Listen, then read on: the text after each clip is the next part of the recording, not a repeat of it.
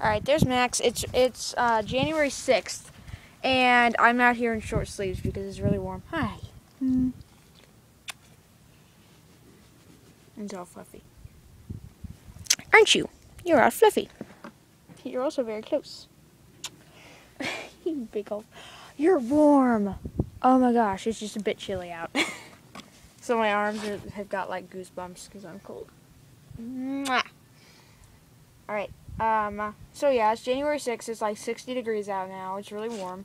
So I came out without a jacket. I'm kind of double think. I'm kind of rethinking that now. Would you? You can't get any closer. I don't think that's physically possible.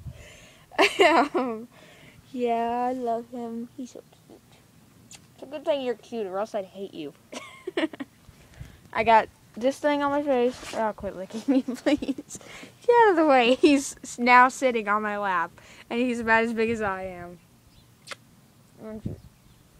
Big fluffy dog. Aww. Alright, um, so yeah, this is Max right there. Say hello. he's trying to get closer. Oh, you're so cute. Um, so yeah, it's January. We should be inside because of snow. We should be having snow days right now. Bird.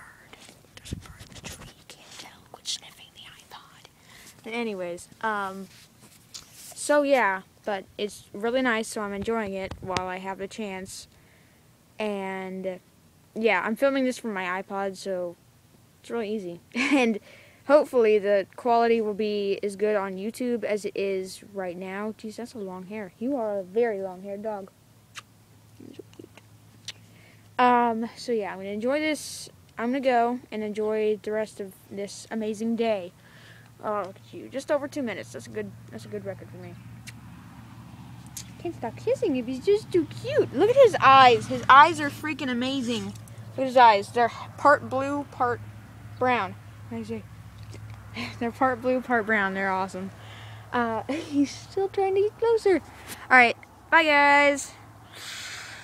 Meow.